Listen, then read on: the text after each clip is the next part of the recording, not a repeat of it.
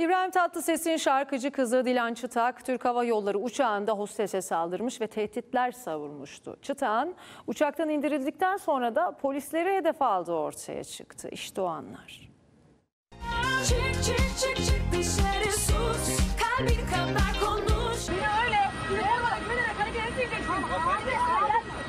Bak. Uçakta hostese saldıran Dilan Çıtak, apronda da polise kafa tuttu. Uyarmadın. Ne yapıyorsun? Uyarmadın beni delirtme. Bak uyarmadın beni delirtme. Ya ne olacağını sanıyorsun ya? Ne olacağını sanıyorsun? Delikanlı.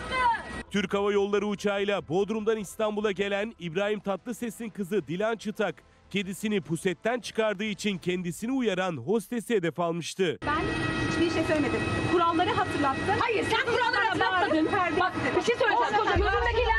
oydurtma bana. Tehditler yerini saldırıya bırakmıştı. Uyarmadın. Lan uyarmadın. Ne yapıyorsun? Uyarmadın beni delirtme. Bak uyarmadın beni delirtme. Uçaktan indirildikten sonrasına ait görüntüler de bugün ortaya çıktı. Genç şarkıcının polislere söyledikleri pes dedirtti. Yine öyle. Yine güvenerek hareket etmeyeceksin. Hadi